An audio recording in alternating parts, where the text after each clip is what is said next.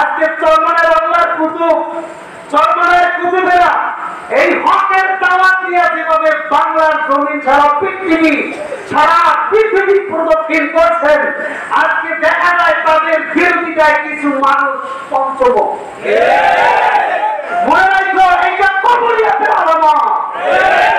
এটা কবুলিয়াতের আলামত। এই জমাত, আল্লাহর ফজলে এই জমাত ইসলামী পতাকা করে ছাড়বে।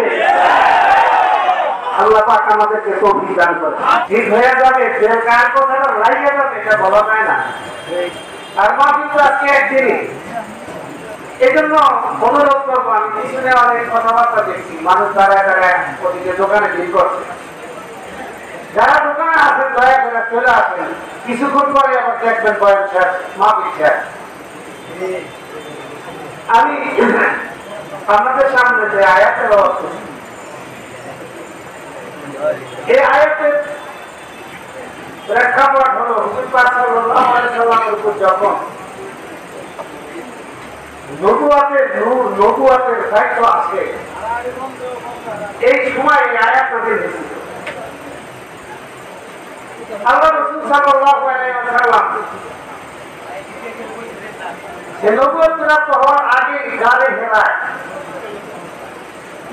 সে যাওয়া আসা করতেন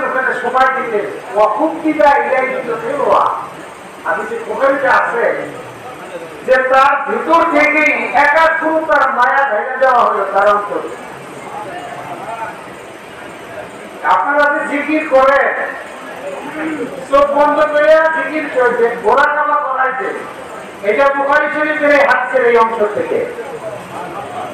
চরমনার তরিকাকে মনে করবেন না, এটা ভাইয়া আছে। প্রত্যেকটা অক্ষর, প্রত্যেকটা কথার দলিল আমরা কে দিতে পারব। সময় বহুত দিলে খেলবা নদীর ভেতরে, অন্তরের মধ্যে মহাব্বাত একাত্রতার মায়া ঢেলে দিল। দেওয়া হইল গাছ থেকে গাড়ে যে ওখানে বসছে বসতে নজরে।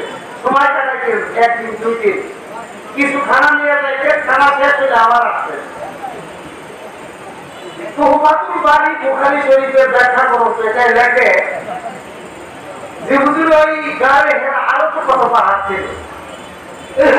গাড়ে হেরা তিনি নির্ধারণ করবেন কেন? গাড়ে হেরা এমন একটা গুহা আছে ওখানে বসলে একাগ্রতা হয় আবার মক্কার ঘরটা দেখা যায়। প্রিয় ঘরটা আমাদের কোনটা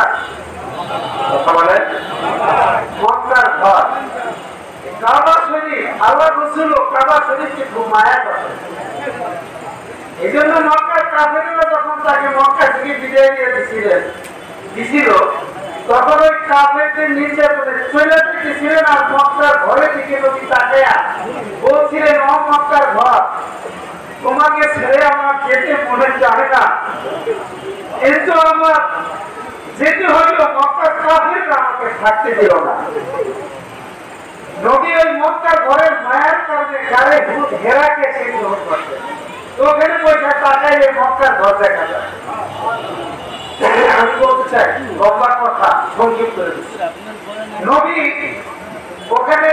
নাইতেন খানা শেষ হইলে আমাদের খাদ্যের খানা দিয়ে এই পাহাড়ে।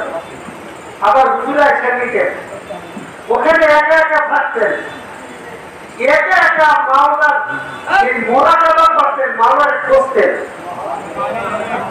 এই সব গুজারি দিছে। এই থেকে আসে? কথা না এটা বানানো কিছু না।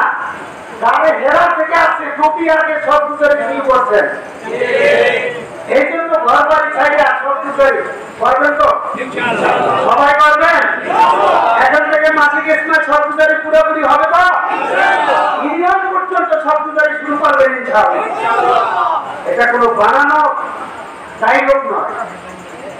আল্লাহ নবী ওখানে সব শুরু করছেন। নবী করিম সাল্লাল্লাহু আলাইহি সাল্লামের কাছে অপরিচিত এক লোক আসলো জিব্রিল আমিন তার নাম। আয়েশা নবীকে বলতেছেন এতরা এতরা আপনি পড়েন। হুজুর বলেন, মা আনাবি দেখেন আপনার তরিকার সাথে কি আছে হুজুরে বলেন, মা আনাবি আমি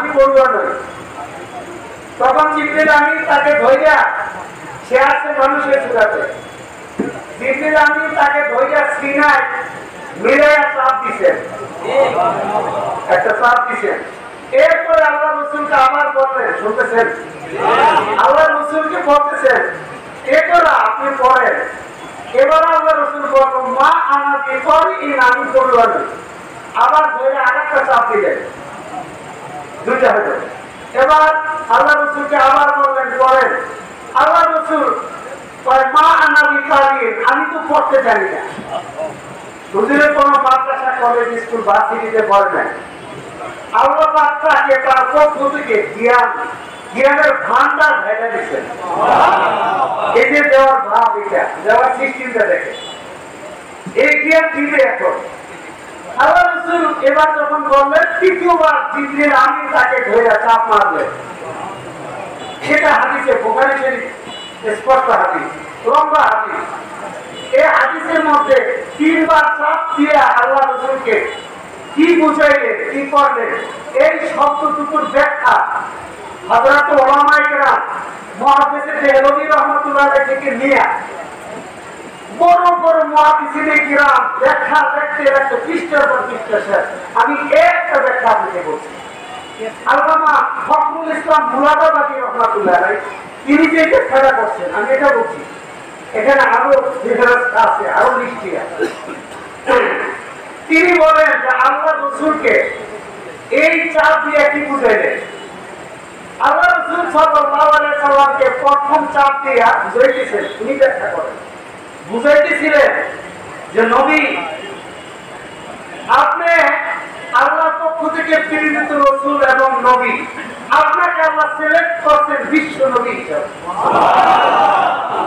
এই দিনের ভার বোঝা আপনার উপরে করা হবে।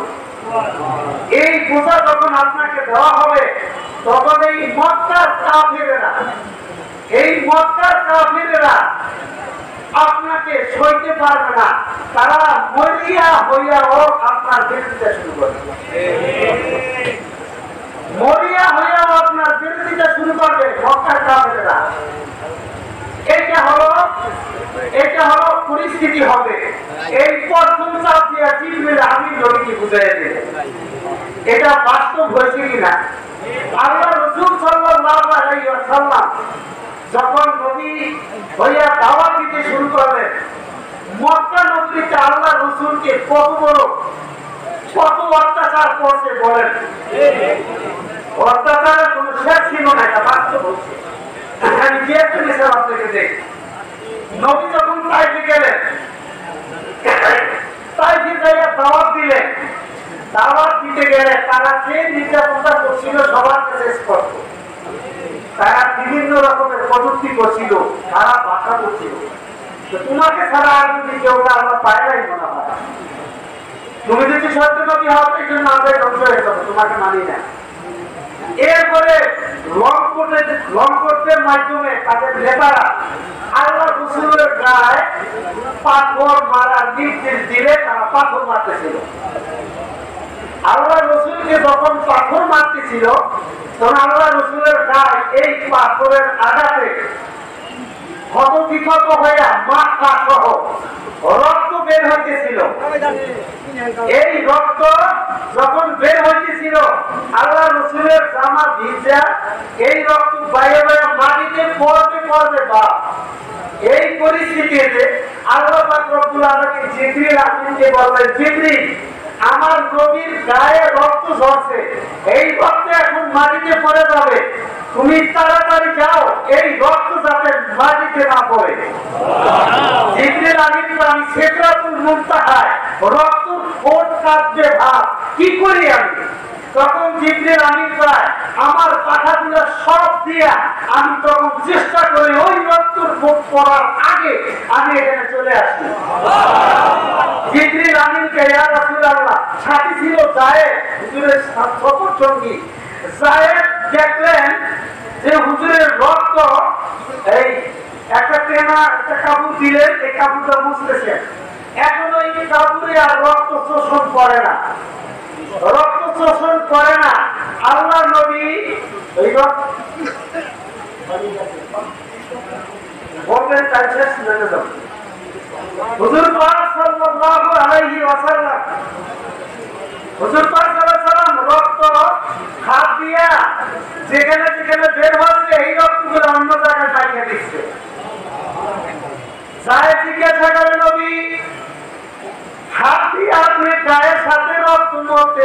রক্ত পোষণ করে না।